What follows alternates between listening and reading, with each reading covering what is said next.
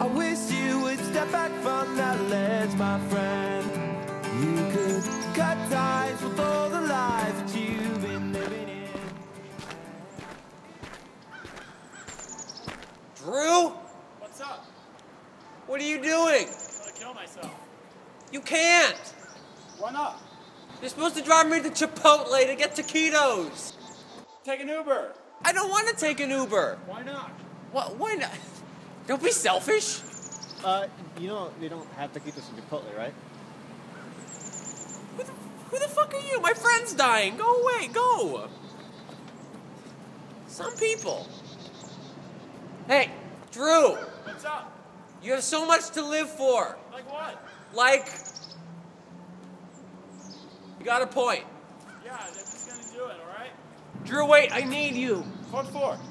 I need you to drive me to my cousin's wedding next week. Oh shit. Take Brenda, man. That way you can get a date out of it. You're so smart. Go for it, man. Smart thinking.